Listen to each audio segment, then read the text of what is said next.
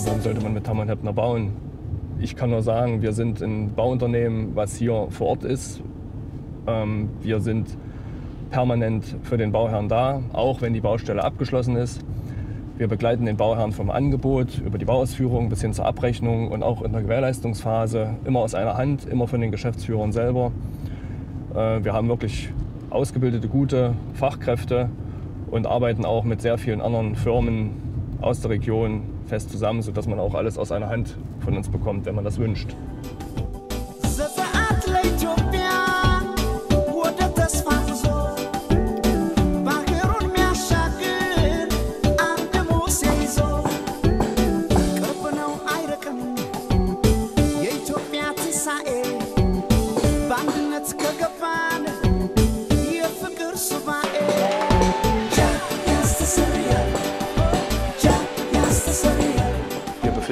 Hier auf einer relativ kleinen Baustelle, aber äh, sehr organisatorisch kompakten Maßnahme.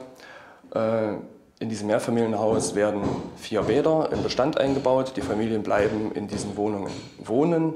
Und es ist für uns die Herausforderung, natürlich einerseits die Bauarbeiten auszuführen, andererseits auch den Leuten, die hier weiterhin ähm, ihren Bedürfnissen nachgehen müssen, äh, auch dies zu ermöglichen. Zu Beginn der Arbeiten sind natürlich umfangreiche Abrissarbeiten erforderlich, äh, zu denen natürlich auch schon die Sanitärinstallateure und Elektriker mit anwesend sein müssen, um die Medien freizuschalten.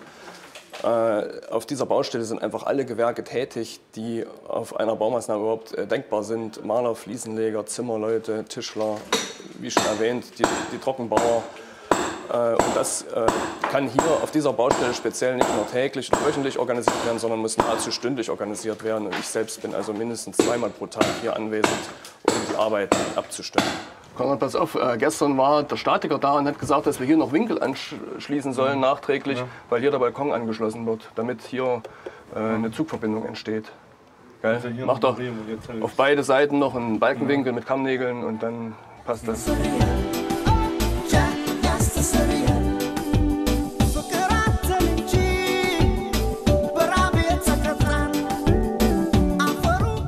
so hier fahren wir jetzt gerade an Häusern vorbei, die wir komplett saniert haben.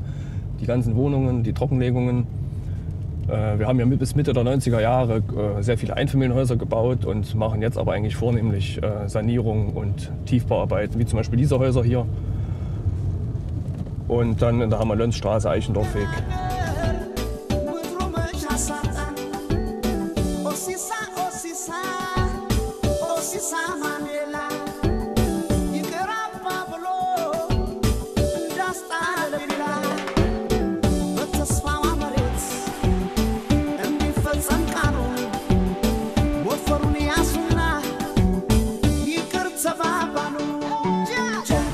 Referenzen.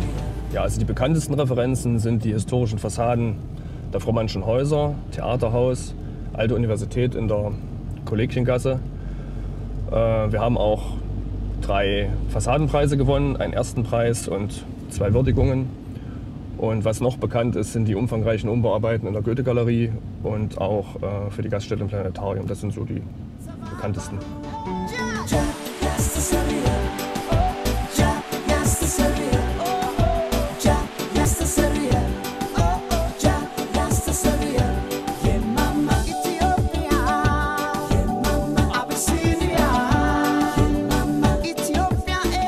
So, nur anderthalb Wochen später. Die Rohbauten in den Bädern sind schon fertig. Die Installationen sind auch eingebaut, Sanitär und Elektro. Hier oben kommen noch die Wechsel für die Hängeschränke, für die Küchenreihen. Äh, es sieht alles sehr rustikal aus, aber das ist jetzt hier die Bauphase, wo es wirklich darauf ankommt, äh, so genau wie hier gearbeitet wird, so wird später das Bad sein. Die Wände müssen absolut lenkrecht geputzt werden, damit äh, das Fliesenbild stimmt und auch die Wände müssen absolut rechtwinklig hergestellt werden, damit die Badewanne schön passt. Alles, was jetzt hier gemacht wird, äh, wird sich am Ende in der Qualität des Bades niederschlagen.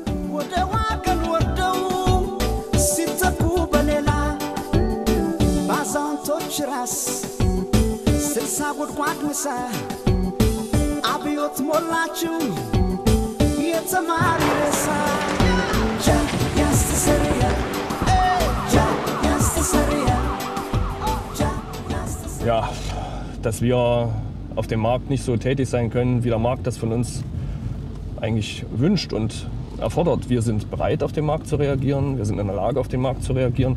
Unsere Mitarbeiter sind vor allen Dingen in der Lage, flexibel auf den Markt zu reagieren. Aber es ist aufgrund der gesetzlichen Vorschriften nicht möglich, äh, oft die Wünsche der Bauherren äh, zu erfüllen und auch zeitgemäß zu erfüllen. 90 Prozent meiner Kosten sind vorgeschrieben. Sicherlich muss es soziale Absicherungen geben. Aber wenn mir 90 Prozent der Kosten gesetzlich vorgeschrieben sind, dann kann man auch die Preise wieder vorschreiben. Ja. Und das Zweite, das Zweite ist eigentlich, dass wir Nachwuchssorgen haben.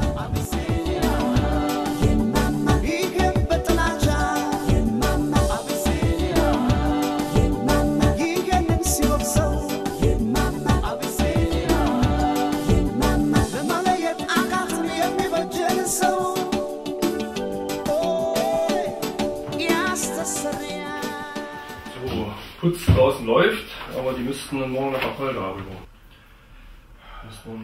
Okay, pass auf.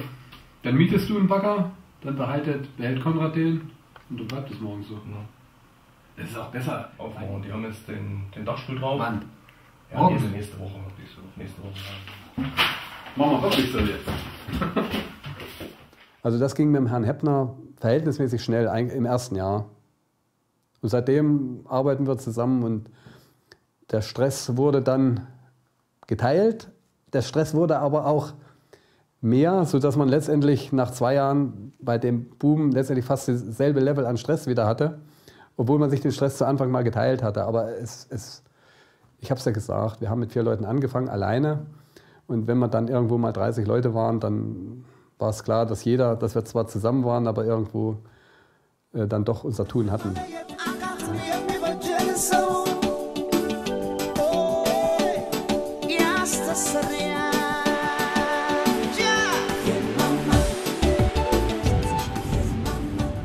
worauf sind wir stolz? Das ist natürlich, dass wir 16 Jahre permanent und kontinuierlich am Markt sind. Ähm, dass wir überwiegend zufriedene Bauherren haben, schöne Häuser gebaut haben und kaum Reklamationen haben, was natürlich auch ein Indiz dafür ist, dass wir eine gute Qualitätsarbeit abliefern. Stolz sind wir auf unsere Mitarbeiter, die eigentlich seit Anfang an dabei sind. Und das ist auch ein Zeichen dafür, dass das Betriebsklima sehr gut ist. Das ist ja auch für den Bauherrn sehr wichtig, wenn ähm, motivierte, nette und ausgeglichene Kollegen auf die Baustelle kommen, denn das sind ja die Leute, die letztendlich permanent äh, vor Ort tätig sind beim Bauherrn.